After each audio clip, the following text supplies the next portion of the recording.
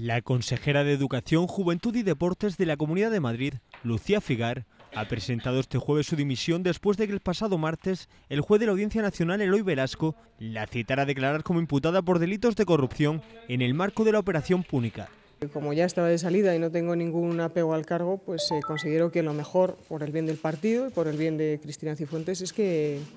es que abandone el gobierno. Eh, por lo demás, tampoco tengo eh, mayor interés en hacer uso de mis eh, privilegios como aforada. Figar ha dejado claro que la decisión de abandonar la política de hace dos meses no tiene nada que ver con esta circunstancia y ha apuntado que está completamente tranquila ante lo que pueda venir. Bueno, la conciencia la tengo tranquilísima y desde luego confianza en la limpieza de las actuaciones, no solo de mi persona, sino de todos los miembros de mi consejería. De eso estoy completamente eh, tranquila y por tanto pues eh, estoy a disposición del juzgado para hacer todas las declaraciones, esa judicial que, que hagan falta.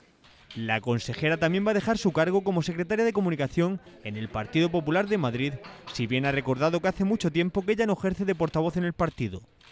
Mientras tanto, el consejero de Presidencia, Justicia y portavoz de la Comunidad de Madrid, Salvador Victoria, ha comunicado al presidente regional Ignacio González su intención de dimitir por las mismas razones que Figar, para no ser un obstáculo para el partido a la hora de formar gobierno.